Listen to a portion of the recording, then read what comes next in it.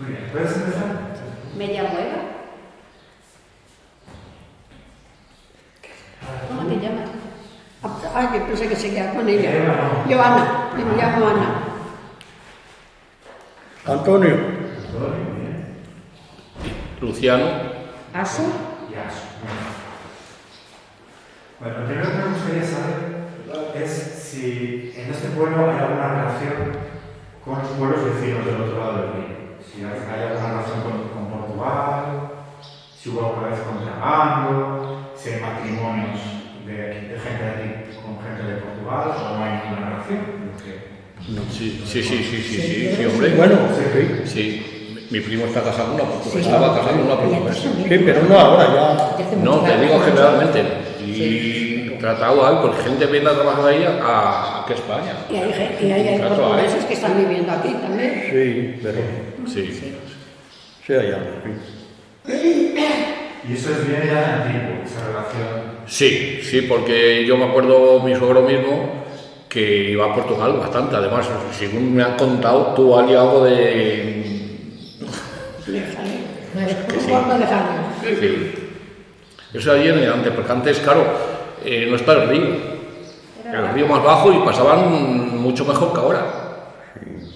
Con una vaca. Con No, una y mucho andando, andando se Andando pasaba de río. verano. Antiguamente el río se pasaba andando. Sí, de verano se pasaba andando el duero. yo le oí decir a mi madre que iba a destraperlo con bacalao. A buscar bacalao y él llevaba, ella llevaba otra cosa de... Y café. Y pasaban andando. Se ve que sí, había piedras y pasaban con el Y el De café un lado al otro, hasta Toño, cuando termine de hablar más. Y cuando pasaban, ya te digo, saltando piedras de un lado al otro, y, y luego ellos traían lo que le hacía falta y ellos llevaban lo que le hacía falta a ellos. Allí siempre es lo que más el café y, y bacalao, que es lo que más eh, de Portugal se trae, sí, cuando se va, pues eso, el, el bacalao es lo que más. Siempre ha sido más barato y muy bueno, verdad. ¿Y ellos venían a buscar algo aquí? ¿O ¿Cómo? se llevaba algo de aquí? ¿O más? Sí, sí, llevaban, ellos llevaban algo, yo no, no- yo no sé, pero yo solía decir que pasaban así. Y ellos llevaban para allá lo que, lo que fuera. No, no sé, a lo mejor como hacía quesos de, de- de la- de las cabras y eso, a lo mejor llevaba quesos. Y ellos traían para acá. Aquí para. Yo no sé, que de aquí para allá llevaban prácticamente nada porque está mucho más caro aquí en España que en Portugal las cosas. O sea, que yo que no. Lo que sí había el contrabando que da- todavía existe, abajo en el salto hay una zona que se llama las aceñas. Por ahí había mucho contrabando, incluso de caballerías. Pasaban con caballerías para Portugal y venían para España. Lo que, lo que llevaran o trajeran pues era contrabando. Pero que de aquí a yo Allá- de España a Portugal pasaba poco. no, porque está mucho más caro eh, en- aquí en España que en Portugal. Y el tabaco, el tabaco también sería, porque cuando cogieron, cogieron a los pintos, Sí. ah, sería... No, pero no era tabaco, tabaco. no. ¿Qué era? Era, cuando cogieron a estos, eran cosas de ropa todo. Colchas, vestidos, todo de ropa. Todo de ropa, sí, era todo de ropa lo que Sí, pero era de allí para aquí. Era de allí para acá, para allá no pasaron nada. No. Era de allá para acá. El contrabando era Ellos de allí iban, para aquí. ellos iban de noche a las tantas y, Sí, sí. y esperaban aquí, ellos les pasaban lo que fuera y después ellos iban para allá y ellos No, no, no, no, no. Y. Era, era ropa y la pasaron entre Bueno, dos, lo entre fuera, yo no dos, entre dos, entre dos dos barcos, entre dos barcos pasaron para acá todo. Y luego resulta que allí en Portugal le pagaron más, el que fuera le pagó más a un barco que a otro. Y entonces riñeron y uno denunció a la Guardia Civil aquí. Y al denunciar a la Guardia Civil, pues claro, ellos buscaron quién era y en el tubar estaban ellos guardias y cogieron, sacaron los mulos y se bajaron abajo a, con los mulos a cargar la ropa que iban a traer, que eran colchas. Y la Guardia Civil, como ya andaban, sabían más o menos quién eran los espías, cuando vieron los mulos a las 2 o las 3 de la mañana, pues iban, ellos delante con los mulos y él iba detrás, la Guardia Civil iba detrás. Y fueron todo el rato detrás de ellos, detrás de ellos, como era de noche y tal, y allí se escondieron. Y cuando tenían las seis caballerías, que eran seis caballerías, eran de mi padre dos mulos, Mira, si no lo voy a saber yo. Yo estaba trabajando entonces en el salto. Y cogió, y la Guardia Civil, cuando tenían los mulos ya todos cargados, salieron ellos y le dice, venga, tirar para el pueblo. Y los trajeron al ayuntamiento. Y ahí le quitaron la- las cosas todas y luego le llevaron a la cárcel. claro. Sí, aquí también había encontrado mucho eso de, de- de peces, que ahí cogía muchos peces y te los traían. Yo, mi, mi madre también bajaba mucho a los peces y luego vendían aquí en el pueblo. Y ganaba, claro, no valía mucho, pero luego ah, sacaban algo. Y eso, de, de los peces también.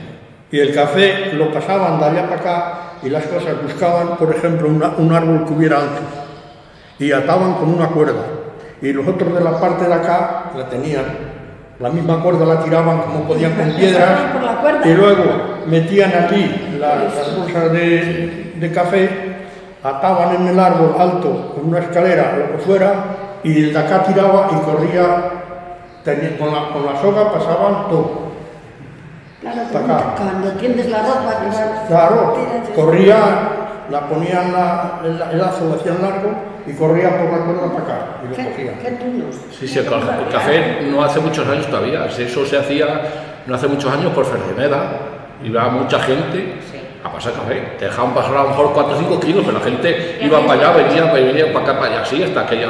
Hombre, una vez que ya se cortó, porque no, sé qué dos países de país que valía mucho, mu- muchos años el café, aumentó el precio y ya se cortó eso. Ahora vale tan caro en Puerto Vasco como en España, pero antes no te costaba ni la mitad en, en Puerto Vasco aquí. Ibas, bueno, y gente así, a barullo. Estaba todo, todo el día, el puente del tren, para allá, acá, allá, acá, allá. Claro, al que cogía la policía con más kilos, se lo, se lo- se lo quitaban. Dímelo a mí que iba con Jesús, que era pequeño, que le llevaba corrido por el, por el puente y, llevaba za- zapatos, y zapatitos, llevaba zapatos puestos y como no, no andaba mucho, pues yo lo cogí. Y la visita, venga, mi hermana, ven para mí que te coja yo, que tu madre ya va cansada. Empezó a frotar los pies uno con el otro, que no quería un zapato para abajo, para el río. No me costó mi duro. Pero la- la- las relaciones con, con los portugueses eran buenas. No, y son, y son en esta vida, sí. ¿Y cómo Es- la comunicación? Eh, Es mejor, yo creo, que la relación eh, España con Portugal que Portugal con España. No, yo, cuando he ido siempre, tra- nos tratan mejor ellos a nosotros que nosotros a ellos. Incluso yo, pues no sé, no sé por qué es eso, pero yo muchas veces jugaba al fútbol de, de chico, cuando pues, tenía yo a lo mejor 14, 15 años, que, bueno, no estaba ni la frontera abierta, y no comparabas. El trato que te hacían ellos allí, a que hacíamos nosotros aquí, ni comparación, ni comparación. Yo lo que veo es que ellos se molestan en hablarnos en español, o sea, intentarlo. Y nosotros vamos a Portugal y no, no lo intentamos para que nos entiendan, no, ellos tienen que hacerlo por nosotros. O sea, ellos yo- siempre intentan hablar. sí, sí, sí, ellos es eh, que hacen de esta saben, manera que lo entienden. y nosotros nosotros es que lo intentamos intentar para dialogar con ellos, no, ellos se esfuerzan que nosotros los entendamos y nosotros no. Pues yo lo que dicen ellos, yo lo, consul- yo lo he preguntado unas veces a ellos y dice, porque nosotros muchas veces ne- necesitamos hablar el, el español y vosotros prácticamente venís aquí, aquí al mercadillo, si venís a comprar eh, café, Claro. si alguna cosa, y es lo que vamos, en cambio no, incluso ellos están trabajando gente de España. Y se preocupan de, de hablar el, el- el español, nosotros no. Como a Portugal prácticamente no se va a trabajar porque no necesitan, porque vale mucho menos el escudo que, que ahora, bueno, ahora no, ahora está el euro, pero el escudo valía mucho menos que, que la peseta. Entonces no tenías que ir a trabajar, ellos sí venían aquí a trabajar. Ellos siempre, porque han pagado más, aquí en España se ha pagado, ha pagado más que en Portugal, ahí no ganan nada. Ahí no ganan nada. ¿Qué trabajos hacían ellos prácticamente, eh, pues cosas de monda, de agricultura y de construcción. Es lo que más eh, se ha hecho aquí.